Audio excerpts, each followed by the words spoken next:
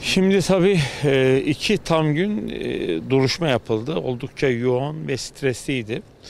E, Maalesef haksız suçlamalarla uzun zamandır karşı karşıyaydık. Onları anlatabilme imkanımız oldu. Ve bize göre en azından temsil ettiğimiz kişiler yönünden, Kervan Pastanesi'nin sahipleri yönünden haklı tespitlerin, haklı bulguların ortaya çıktığını düşünüyoruz. Buna inanıyoruz. E, bir dahaki duruşma 3 Mayıs tarihine kaldı.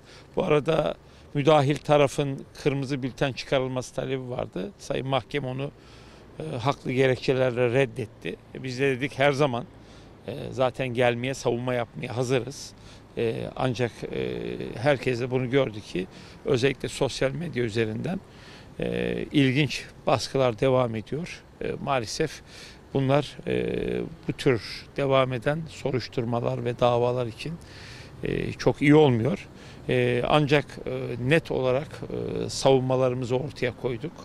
E, bu binanın müteahhidi değiliz, fenli mesul değiliz, mimarı değiliz, statik projesini çizen yapan değiliz. E, burada e, bir pastanenin olduğu doğru ama bu pastanede bizim dükkanlarımızın dışında aynı zamanda dairelerimiz var. Böyle bir yerde bizim efendim işte yersiz, haksız e, depremde binanın e, çökmesine, yıkılmasına sebebiyet verecek 35 canımızın, kardeşimizin hayatına kaybetmesine yol açacak bir hatanın, yanlışın içinde olabilmemiz mümkün değildir.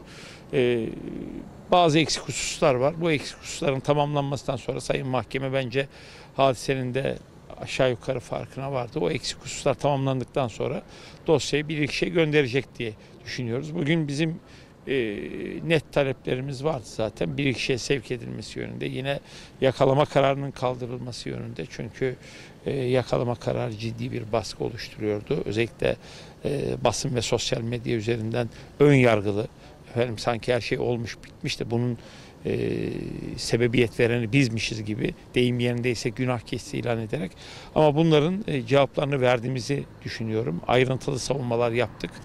E, haklılığımıza inanıyoruz. E, zor bir dosya. E, onu anlıyorum ama bizim amacımız maddi hakikate ve adalete ulaşmak. Yoksa olayı kapatmak, karartmak değil. Kim sorumluysa, suçu varsa o ortaya çıksın ama e, haksız yere de kimse suçlanmasın. E, bizim tek derdimiz, e, tek bir derdimiz adaletin yerini bulması.